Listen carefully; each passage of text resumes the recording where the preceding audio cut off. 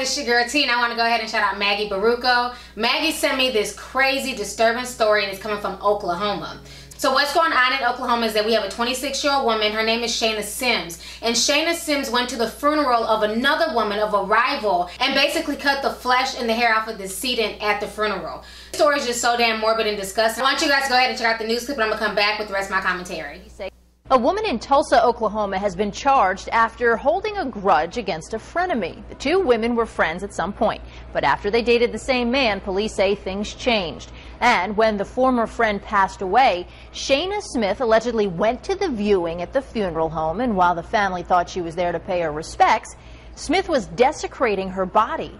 Hair that was removed from the decedent on the floor near the casket, as well as the makeup on the face of the decedent was smeared, and there was a laceration to the to the face.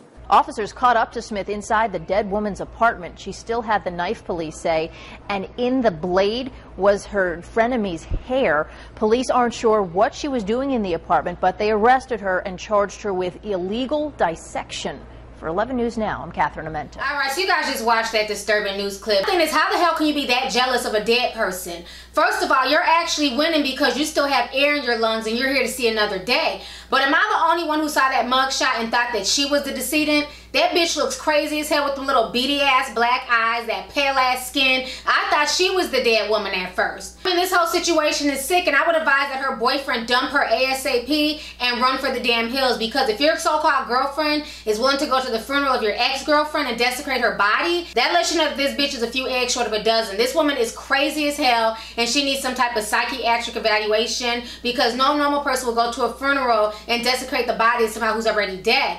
And not to be a conspiracy theorist, but if this woman is that angry that she's willing to go to the funeral to make sure that this woman is dead, I think the police need to investigate and make sure that she didn't have something to do with this woman's death. Because in the article, I tried to look it up to see how this woman died. I can't find any mention of how this woman supposedly died. So I don't know if she was hit by a car, she was shot. I don't know what happened, but depending on how this woman died, I think it needs to be investigated. This chick is that crazy to do that to her while she's laying in her coffin. Who's to say that this chick didn't poison her? Who's to say that this chick didn't set her up to be killed? There's a lot of crazy deranged ass people out here, so I don't put nothing past nobody. The story's not only insane, but it's sick as hell. I'm gonna need Oklahoma to lock this crazy beady-eyed bitch up and throw away the key, because obviously she's not playing with a full deck, okay? Anyways, y'all, go ahead and leave a comment. Let me know your thoughts on this entire crazy situation concerning 26-year-old Shaynna Sims. How do you feel about this story and what do you think should happen to her? And then also, do you feel like her boyfriend needs to dump her ASAP and run for the hills? And am I wrong into thinking that Shaynna might be involved in this woman's murder, being that she went to the funeral home and she did all this to the body? So go ahead and leave a comment. Let's get the discussion popping. All right, deuces. Hey YouTube, it's your girl Lovely T, and you can show me some love by hitting that subscribe button, watching my previous videos, and following me on social media.